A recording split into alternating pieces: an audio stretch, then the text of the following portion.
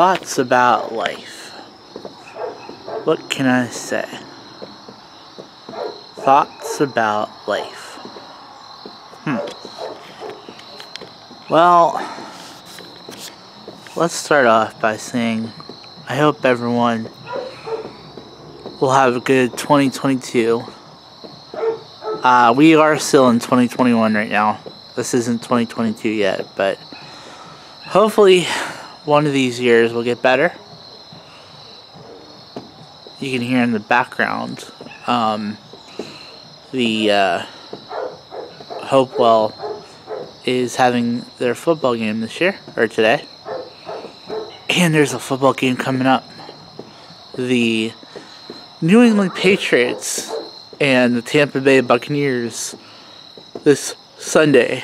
And the Green Bay Packers and the Steelers are playing, I think, Sunday too. So that'll be exciting. I want to see what it's going to be like.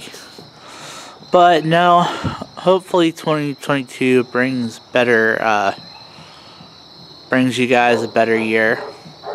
And uh, look forward to seeing what happens. There's going to be a lot more adventures in 2022. Um,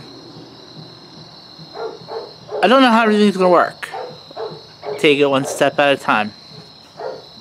You no longer will see by then any videos of like North Carolina in the South anymore, but you'll be seeing a lot more of me and Courtney again.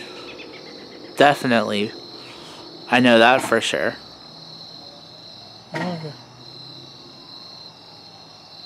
Oh. Sorry, Dad.